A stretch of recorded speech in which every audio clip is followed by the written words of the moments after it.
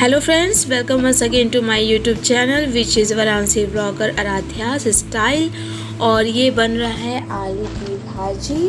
और कैसे हैं आप सब? कैसा आपका वीकेंड प्लान है? वैसे तो कहीं बाहर जाना नहीं है तो घर पे ही रह के प्लान करना हम लोगों को कि कितना अच्छा अपना हम ये वीकेंड अच्छा कर सकते हैं। और चूँकि वीकेंड है फ्रेंड्स और ये फ्राइडे का व्लॉग है, और सारा वेजिटेबल सब हम लोग फिनिश कर चुके हैं बना बना के, परवल, भिंडी और क्या क्या चीज़ें थी सब कुछ। तो अब बचा कौन? सब्जियों का राजा आलू। तो आलू की बनेगी भाजी। तो इस तरीके से आलू की भाजी हम लोग जो घर में जनरली तैयार करते हैं, बच्चों का फेवरेट इसे हम एक तरीके से कह सकते हैं कि अगर सॉस के साथ आप देना चाहें तो बच्चों खिला सकते हैं। तो पहले तो बच्चों को मान मनोवल करके हम लोग खिला देते थे, अब वो स्मार्ट हो गए और बोलते मम्मा, ये फ्रेंच फ्राइज़ नहीं है। तो इस तरीके से भाजी, हल्दी, नमक, मिर्च वगैरह डाल के बना लिए और अच्छा लगेगा। फिर मैंने एक एक्सपेरिमेंट किया, छोटा सा, वैसे तो खाने पीने के साथ बहुत ज़्यादा हमको एक्सपेरिमेंट नहीं करना चाहिए। लेकिन क्योंकि मेरे ऊपर ही था, मुझे ही इसे ट्राई करना था तो मैंने किया। जैसे हम फारा बनाते हैं फ्रेंड्स इंडियन मोमोज़ तो उससे मैंने क्या किया कि चने का दाल भिगाओ, फिर बनाओ और सब कुछ करना पड़ता। तो मुझे लगा कि यार, इतना कौन करेगा? खाने का भी बहुत मन था। तो मैंने कहा, चलो, बेसन में ट्राई करते हैं। आखिर चने की दाल को पीस के तो बेसन बनता है। अब जो भी उसका प्रोसीजर हो, इतना डिटेल में एक्सपीरियंस अभी नहीं है कि बेसन और चने की दाल में क्या डिफरेंस है। लेकिन टेस्ट तो डेफिनेटली चेंज हो ही जाता है। अब ये बेसन में मैंने हल्दी, नमक, मिर्च पाउडर ये सारा कुछ डाला था। इतना सा सेंधा नमक।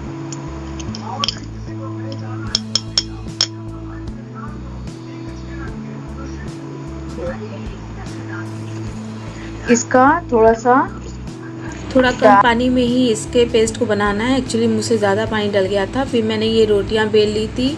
और इस ये जो रोटियाँ होती हैं ना इसमें आपको हल्का सा सॉल्ट भी डालना है ताकि आटे में टेस्ट रहे। जनरली गेहूँ के आटे और चावल के आटे को मिक्स करके बनता है ये।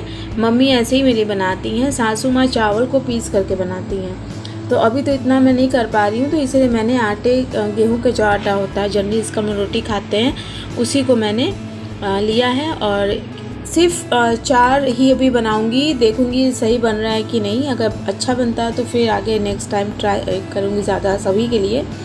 तो इस तरीके से मैंने इसको फिल करके फारा का शेप दे दिया है, जो जनरली मुझे जो आता है, मैंने बनाया उसको। और इसको मैं लॉक करके चारों तरफ़ से यूँ, और क्योंकि बहुत जल्दी ये आटा पसीजने लगता है तो चिपक जा रहा था तो कोई ज़्यादा प्रॉब्लम नहीं आई। और ऐसे जैसे कच्चा चने को जो हम लोग बनाते चने का उसमें थोड़ा सा टाइम लगता है अच्छे से बंद करना पड़ता है। इसमें तो कुछ ज़्यादा मेहनत नहीं था। तो इस तरीके से तैयार हो गया। पानी गर्म करके उसमें हल्का सा सॉल्ट ऐड कर अब ये पानी जब बिल्कुल खोलने लगेगा तब इसमें हम लोग क्या करेंगे? उस जो फारा है उसे हम लोग इसमें डिप कर देंगे। और मैंने फ्रेंड्स 25 मिनट्स पकाया था और बहुत अच्छे से पका था।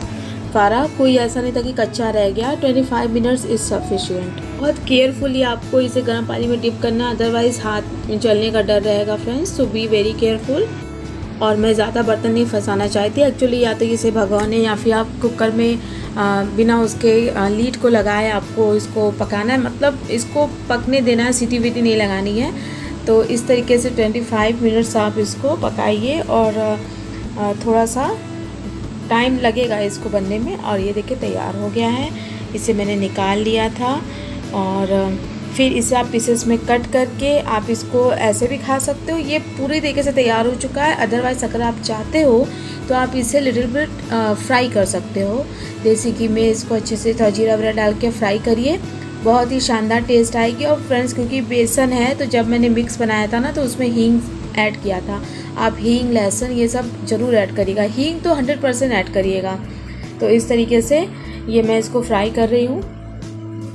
क्योंकि जब देख ही रही हूँ कि कैसा बन रहा है तो थोड़ा सा और मेहनत करके देख लेती हूँ कि आफ्टर फ्राई जब मैं इसको फ्राई कर देती हूँ इसका टेस्ट क्या और हंड्रेड परसेंट फ्रेंड्स दोनों तरीके से बहुत टेस्टी लगा। ऐसा नहीं है कि मैं बना, मैंने बनाया तो मुझे तो अच्छा लगेगा ही।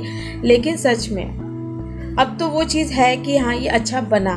तो इसे ट्राई कर सकते हैं। बहुत ज़्यादा इसमें कोई चीज़ लगा नहीं, सब कुछ आपके घर में मौजूद है।